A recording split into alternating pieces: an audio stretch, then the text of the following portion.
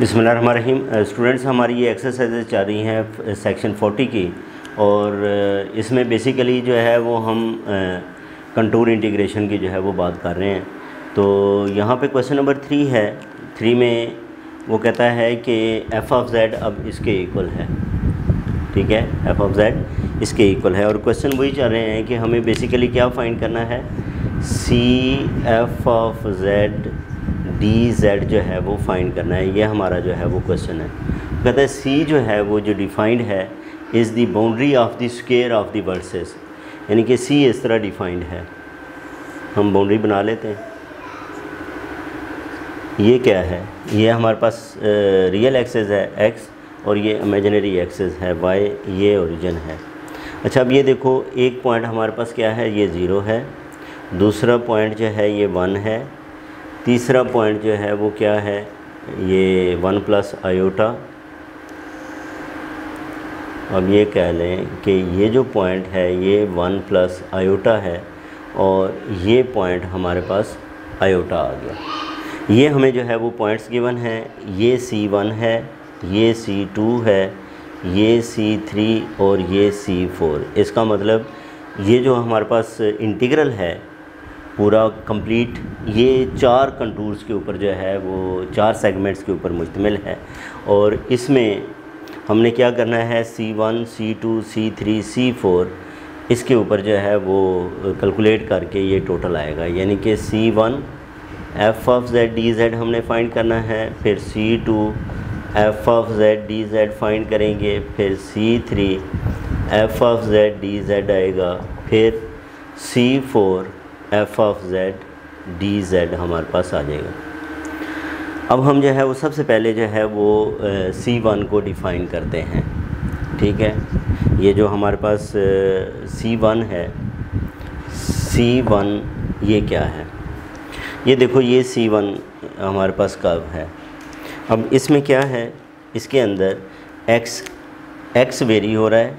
X की variation क्या है? ज़ीरो से लेके वन है। और y किसके इक्वल है इसमें? y ज़ीरो है। तो z किसके इक्वल बनेगा? यानी कि हमारे पास जो z होता है, z है x प्लस अयोटा वाई और फिर हम इसको आप देखें तो z किसके इक्वल आ गया? x वेरी हो रहा है, y ज़ीरो है तो x, और x की वैल्यू ज़ीरो से लेके वन जो है, वो क्या हो रही है? वेरी हो रही है। तो ये हमारा जो है, वो पहला पहली कर्व है और ये हम इसका इंटीग्रल फाइंड कर लेते हैं। यानी कि इंटीग्रल इसके इंटीग्रल को आई वन कहें C one f of z d z तो ये किसके इक्वल आएगा? सी वन यानी कि हमारे पास ये जो एफ़ ऑफ़ जेड है, वो है pi e raise to power pi z bar और डी जेड है। अब हम z की वैल्यू रिप्लेस करते हैं यहाँ पे। ये c जो है वो ज़ीरो टू वन बनेगा। Pi e raise to power pi z की जगह पे x इसका बार और डी जेड यानी कि z हमारे पास x है तो डी जेड किसके इक्वल है? डी जेड डी एक्स के इक्वल है। तो ये क्या आ जाएगा? ये डी एक्स आ जाएगा। अच्छा अब ये क्या बन गया? Zero to one pi pi तो कांस्टेंट है। और e raise to power pi x ही आ जाएगा। क्यों? कि इसके अंदर आयोटा नहीं है, इसका बार लेंगे तो यही बनेगा। अब इसका इंटीग्रल आप जो है वो फाइंड करें स्टूडेंट्स तो ये e raise to power pi x over pi ये बनेगा और वैल्यू ज़ीरो टू वन आएँगी। ये आपस में cancel e raise to power pi one कीजिए और e raise to power zero ये स्टूडेंट्स क्या आ गया? E raise to power pi minus one ये हमारे पास आई वन आ गया। ठीक है? यानी कि आई वन की वैल्यू किसके इक्वल आई है? I one is equal to e raise to power pi minus one आ गई है। अब हमने जो है वो स्टूडेंट्स क्या करेंगे? यहाँ पे ये जो C2 के अलांग जो हमारे पास इंटीग्रल बनता है, इसकी वैल्यू को फाइंड करेंगे। अब स्टूडेंट्स हमने जो है वो सी वन के अलांग जो है वो इस इंटीग्रल की वैल्यू फाइंड की। अब सी टू के अलांग जो है वो फाइंड करें। तो सी टू किस तरह डिफाइंड है? अब इस कर्व में देखें तो हमारे पास यहाँ पे ये देखें, x की वैल्यू वन है। x की वैल्यू क्या है? वन है। x is equal to one और y वेरी कर रहा है। कहाँ से? ज़ीरो से लेके वन तक। Y की वेरिएशन जो है वो ज़ीरो से वन है। इसका मतलब z किसके इक्वल बना? अब z is equal to x plus iota y है।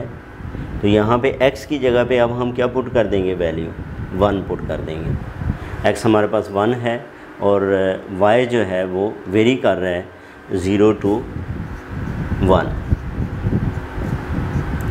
अच्छा हमें फिर जो है वो ये सी टू में अगर लिखूँ C two f of z d z ये आई टू इंटीग्रल हम कह लेते हैं। इसको क्या कह लेते हैं? आई टू इंटीग्रल अच्छा ये के, किसके इक्वल आ जाएगा?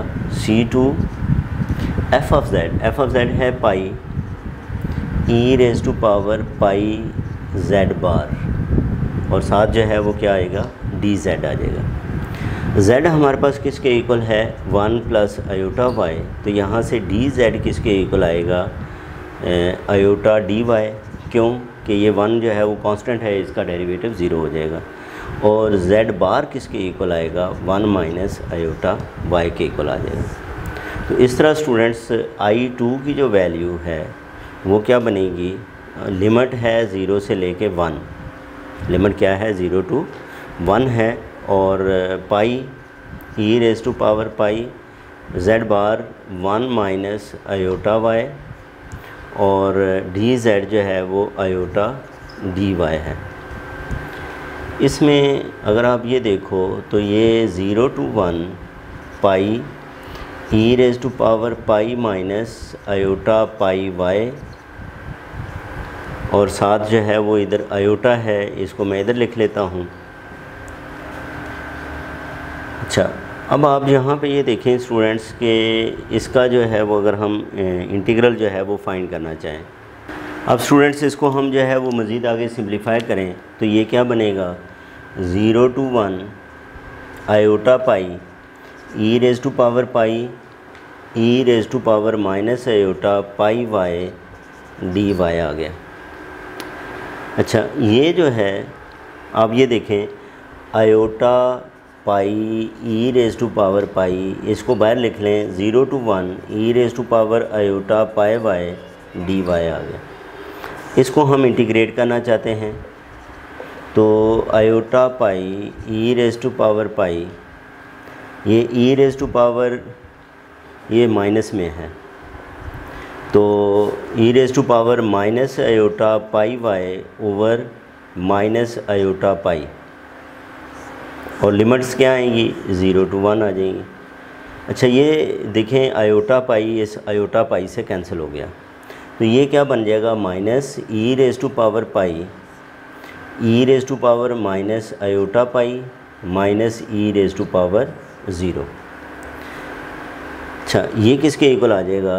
That is equal to E raise to power pi ये माइनस वन आएगा ओपन करोगे आइलर आइडेंटिटी से। ये भी माइनस वन तो ये टू, ये हमारे पास जो है वो minus one minus one minus two हो गया तो two e raise to power pi यानी कि आई टू जो है, वो क्या आ गया है? Two e raise to power pi के इक्वल आ गया. ये था हमारा जो है वो आई टू अब हम जो है वो क्या करेंगे?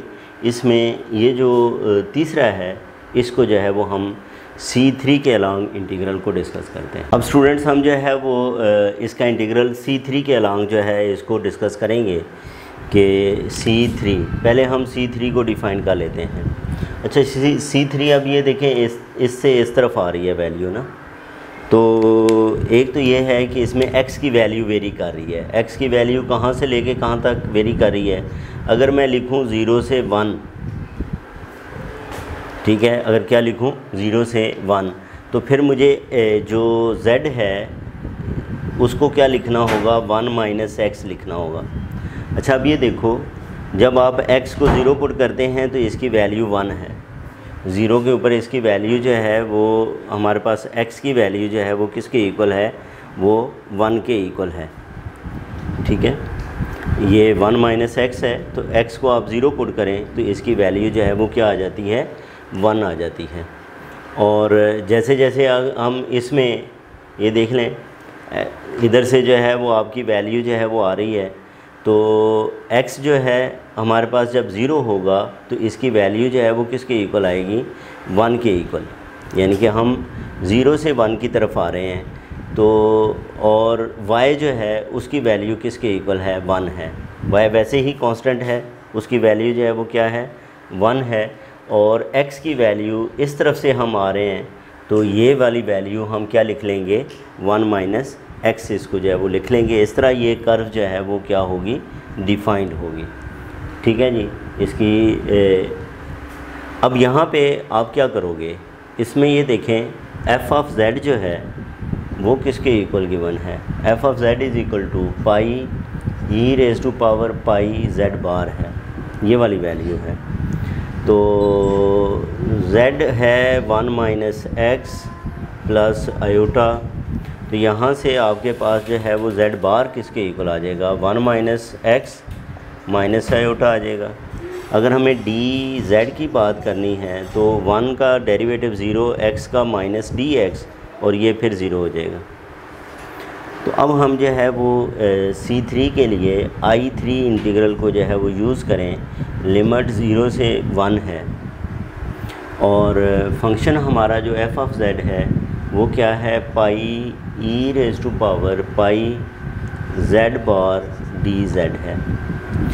यानी कि zero to one pi e raise to power pi z bar z bar is one minus x minus iota. One minus x minus iota. और, ये जो डी जेड है, ये किसके इक्वल है? D z is equal to minus d x minus d x है। अब हमने इस इंटीग्रल को सॉल्व करना है आई थ्री इसमें जो कॉन्स्टेंट्स हैं, उनको हम बाहर लिखेंगे pi e raise to power pi minus pi x और ये जो हमारे पास आ जाएगा e raise to minus iota pi आ जाएगा। और साथ क्या है? माइनस डी एक्स है।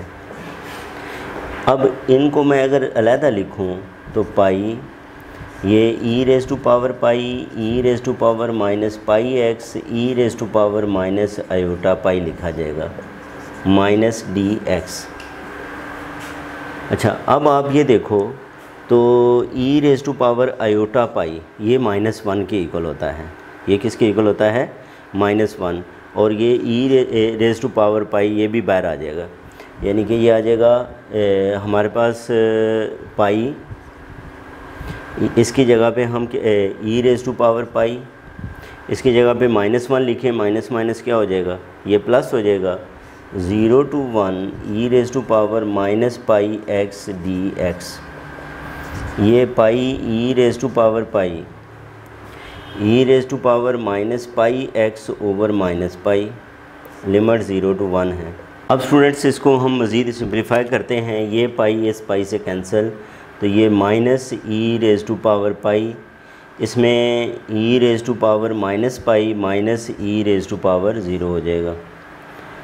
तो ये जब मल्टीप्लाई होगा तो e raise to power pi minus pi ये वन हो जाएगा तो minus one minus minus plus e raise to power zero one होता है तो e raise to power pi तो इसका आंसर आ जाएगा e raise to pi minus one यानी कि हमारे पास जो आई थ्री की वैल्यू है, वो e raise to power pi minus one आ गई। अब हमने क्या करना है स्टूडेंट्स इसी तरह जो है, हम क्या फ़ाइंड करेंगे सी फोर के लिए जो है वो वैल्यूज़ फाइंड करेंगे। और सी फोर के अंदर आप ये देखो तो इसमें जो y की वैल्यू है, वो वन से ले लेके ज़ीरो की तरफ़ आ रही है, एक बात। और दूसरा ये है कि इसमें x किसके इक्वल है? ज़ीरो के इक्वल है, इसको हम यहाँ पे यूज़ करेंगे। अब स्टूडेंट्स हम ये कर्व फोर जो है, इससे रिलेटेड इंटीग्रल की बात करें। तो सबसे पहले हम सी फोर को जो है वो डिफ़ाइन कर लेते हैं। सी फोर में अगर तो हम इस इस तरफ़ से आ रहे हैं तो इसका मतलब ये है कि अब एक्स तो ज़ीरो है इसके ऊपर। वाई एक्सेस के ऊपर एक्स जो है वो क्या है? ज़ीरो है। और वाई की वैल्यू जो है वो कहाँ से? ये वन से जो है वो किस तरफ़ आ रही है? ज़ीरो की तरफ़ आ रही है। अगर मैं ज़ीरो से जो है वो वन वैल्यू लेता हूँ तो मुझे वाई को क्या यूज़ करना है? वन माइनस वाई यूज़ कर लूँगा। यानी कि जेड हमारा जो है वो किसके इक्वल आ जाएगा? Zero plus iota one minus y अब इससे क्या होगा? अब आप ये देखें कि जब वाई को आप ज़ीरो पुट करते हैं तो इसकी वैल्यू वन आती है। और वन से फिर जो है वो क्या आएँगे हम? वन जब पुट करेंगे तो ज़ीरो ज़ीरो आ जाएगा। अच्छा अब ये हमारे पास जो है वो z है। z किसके इक्वल है? वन माइनस वाई आयोटा के इक्वल है। यहाँ से डी जेड हम फाइंड करें तो वो किसके इक्वल आएगा? माइनस डी वाई और साथ आयोटा भी आएगा। वन का डेरिवेटिव ज़ीरो वाई का जो है वो क्या आ जाएगा? डी वाई और साथ ये आयोटा आ गया। ये क्या है? ये डी जेड है। ये हमारे पास क्या है? डी जेड है। अब आपने जो है वो सी फोर कर्व को जो है वो यूज़ करना है, यानी कि सी फोर के लिए f of z d z की हम बात करते हैं। ये क्या बना? ये हमारे पास वैल्यू आएगी ज़ीरो से लेके वन और f of z pi e raise to power pi z bar z क्या है हमारे पास? वन माइनस वाई आयोटा है, इसका बार आ जाएगा और डी जेड है माइनस आयोटा डी वाई अब हम इस इंटीग्रल को जो है वो क्या करना चाह रहे हैं? सॉल्व करना चाह रहे हैं। इसमें यहाँ पे ये देखें स्टूडेंट्स के ये zero to one pi e raise to power pi और ये आयोटा माइनस आयोटा में चेंज होगा तो ये one minus y minus one आ जाएगा। और साथ माइनस आयोटा डी वाई है। यानी ये ये ज़ीरो टू वन ये माइनस से मल्टीप्लाई कर दें तो e raise to power minus pi और माइनस माइनस प्लस और साथ जो है ना वो क्या आ जाएगा? पाई वाई आ जाएगा। ठीक है जी? और साथ क्या है? माइनस अयोटा डी वाई है। ये इंटीग्रल क्या बना? ये हमारे पास इंटीग्रल आ गया zero to one minus pi iota, minus pi या iota pi. E raise to power minus pi e raise to power pi y d y e raise to power pi y d y आ गया। अच्छा ये भी constant है, इसको भी integral से बाहर लिखते हैं minus iota pi e raise to power minus pi zero to one e raise to power pi y d y ये इंटीग्रल क्या आ जाएगा स्टूडेंट्स ये हमारे पास जो इसकी वैल्यू है। अच्छा अब यहाँ पे हम ये देखते हैं कि ये ये जो आयोटा है, ये माइनस वन नहीं माइनस आयोटा में चेंज हुआ है। ये थोड़ी सी मिस्टेक हुई, इसको करेक्ट कर लें। ये किसमें चेंज हुआ है? माइनस आयोटा में चेंज हुआ है। तो ये माइनस पाई आयोटा आएगा। और इधर भी जो है वो साथ क्या आ जाएगा, आयोटा आ जाएगा। और माइनस पाई आयोटा, और ये माइनस पाई आयोटा फिर किसके इक्वल हो जाएगा? ये माइनस वन के इक्वल आ जाएगा, और इसके साथ आयोटा आ जाएगा। यानी कि आई फोर अब हमारे पास है, इसकी जगह पे आप माइनस वन लिखें, माइनस माइनस प्लस हो जाएगा तो ये आयोटा पाई आ गया। और इसका इंटीग्रल क्या आएगा? E raise to power iota pi y over iota pi. और ये ज़ीरो टू वन है। आयोटा पाई ऐसे cancel e raise to power iota pi minus e raise to power zero ये माइनस वन माइनस वन तो ये किसके equal आ जाएगा? माइनस टू के। इसका मतलब ये हुआ कि इस सारे का जो इंटीग्रल है सी फोर से रिलेटेड ये क्या आ गया? ये माइनस टू आ गया। तो आई फोर जो है वो that is equal to minus two अब हमने क्या करना है? इन तमाम इंटीग्रल्स की वैल्यूज़ को इधर रिप्लेस करके इनको ऐड कर लेंगे तो ये हमारे पास जो है वो इसका आंसर है। और ये वाली वैल्यूज़ क्या आई हैं हमारे पास?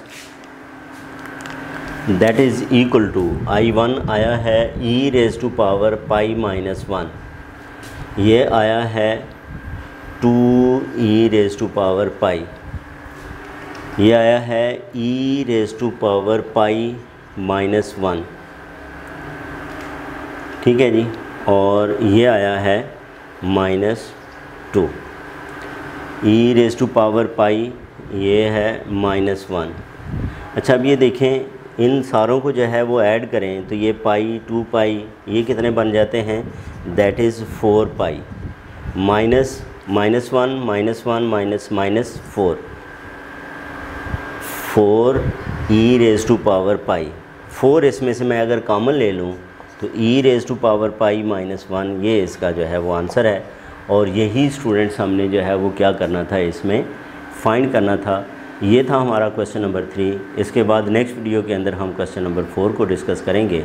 अपना ख्याल रखें। अल्लाह हाफिज़।